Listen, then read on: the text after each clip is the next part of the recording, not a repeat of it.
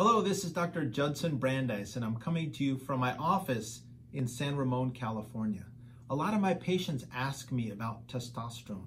Testosterone is a critically important hormone for men. It's made by the testicle and it gives us energy and manliness. And when we're younger, in our 20s, it's up around 8 or 900. But as we age, like so many things, it declines. So by the time you hit 50, it may be down around 400. By the time you hit 70, it may be around 200 or 250.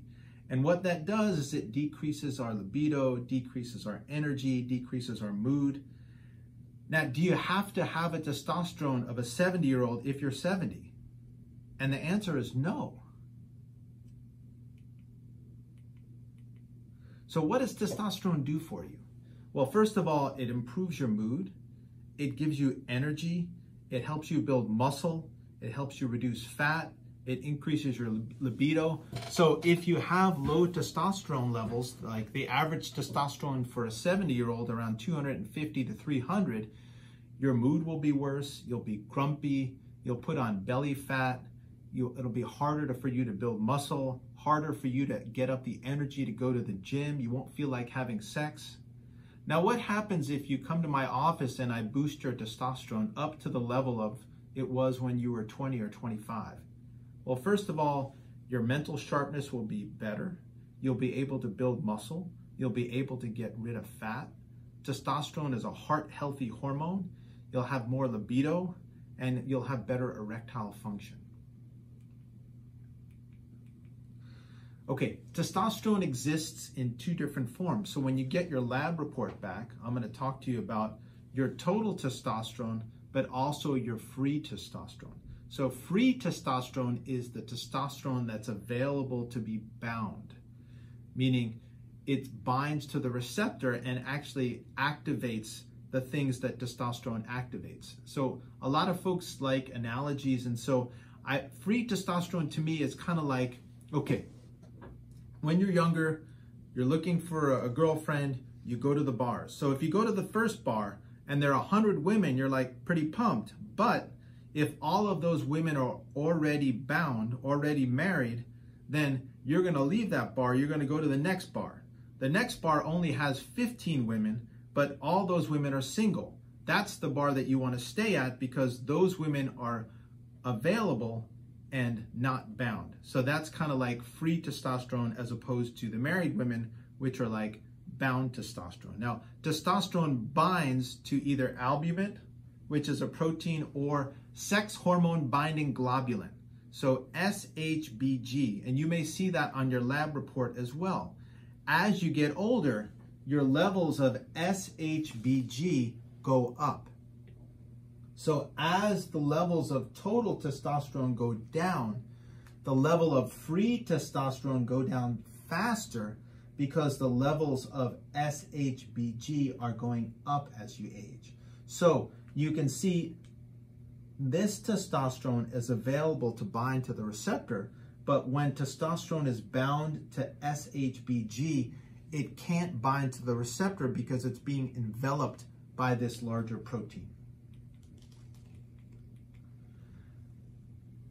The hypothalamus, which is in your brain, produces GnRH, gonadotropin releasing hormone, which goes to the pituitary, and the pituitary re releases two things luteinizing hormone and follicle stimulating hormone. FSH tells your testicle to make sperm, LH tells your testicle to make testosterone.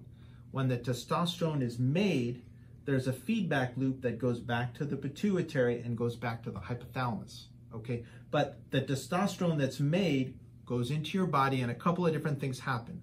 Most of the testosterone goes directly to the muscle and to the testosterone receptors throughout your body.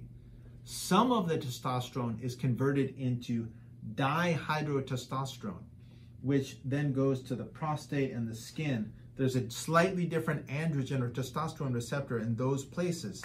And so if you're taking Propecia, Propecia is a 5-alpha reductase inhibitor. It blocks the conversion of testosterone to DHT. And so DHT is what causes all those bad things that happen to us as we get older, like enlarged prostate, losing hair on the, your head, you get the ear hairs, the nose hairs, all those bad things that you don't want. If you block the conversion of T to DHT, you reduce those things. Now, one other thing that testosterone does is it gets converted into estrogen, right? By something called aromatase. And if you boost testosterone too much, then you're going to get too much estrogen. Okay, we're all taught like men are from Mars and women are from, that's Mars, and women are from Venus. Okay, and so Mars and Venus are like, you know, way, way different. But in reality, this is testosterone, that's estrogen. They're almost exactly the same molecule. The only difference between testosterone and estrogen is this one hydrogen molecule. And hydrogen is only one electron, one neutron, and one proton. So the smallest unit of matter is the difference between estrogen and testosterone. And so it's easy for your body to aromatize testosterone into estrogen. Okay, so then people like, well, you know, I want bioidentical hormones or I want synthetic hormones.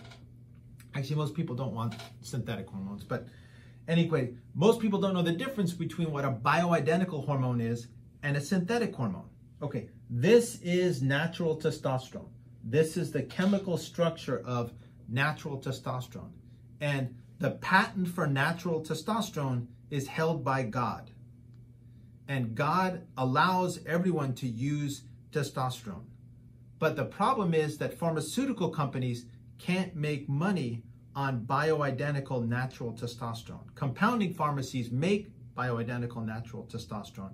But pharmaceutical companies like Merck and Pfizer and all those people, since they can't have the patent on it, they can't make money on it. So what they do is they create things like testosterone cypionate or testosterone enanthate that you can inject or you can put across through the skin.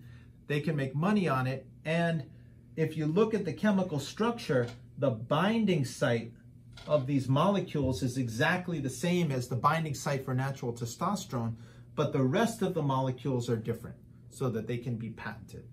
I prefer when I'm replacing testosterone in my patients to use a natural bioidentical hormone. Okay, so how do we replace testosterone? Okay, one way you can do it is through injections.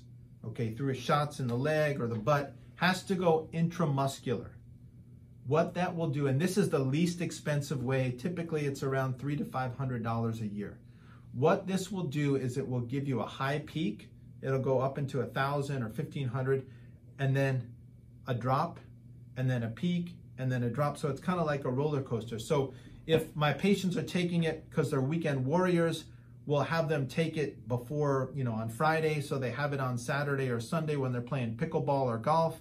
And if they're uh, taking it to do really well at work, then we'll have them inject themselves Sunday night so that they get really high levels on Monday, Tuesday, Wednesday, so on and so forth okay? It, this is a non-bioidentical hormone, and uh, you get high levels, then low levels, high levels, then low levels.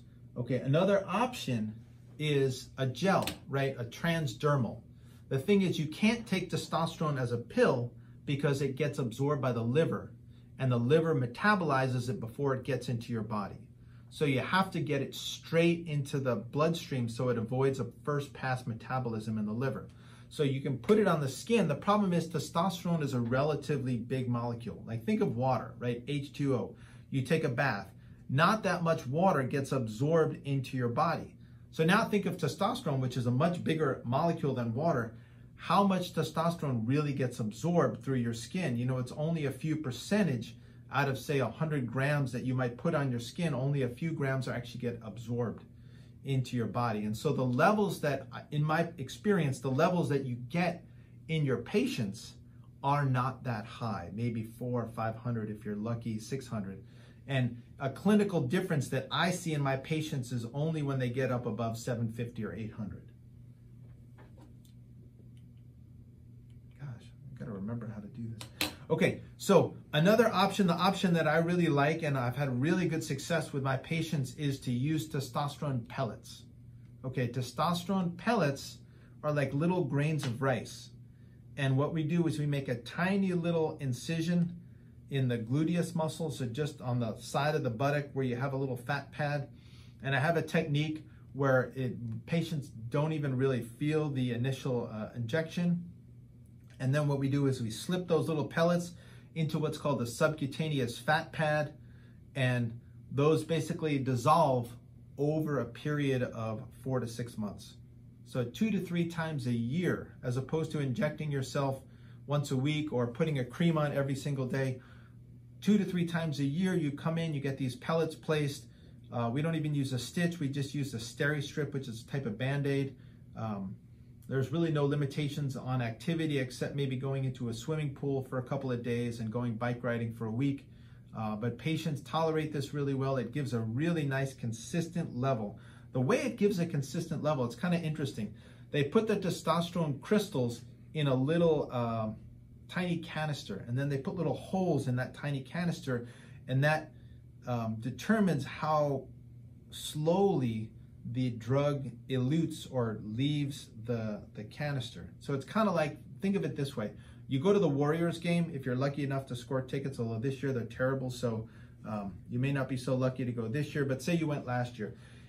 They had a lot of exits, so at the end of the game, people could leave really quickly, but say you only had like one or two exits, it would take a long time for all the people that went to the Warriors game to leave. And so that's what they do with these um, little canisters is when you they get put in the glutes, there are only a couple tiny little holes, and it's so oh, slowly over time, these canisters release the testosterone into the subcutaneous fat, and that's why you get high, consistently high levels for a long period of time.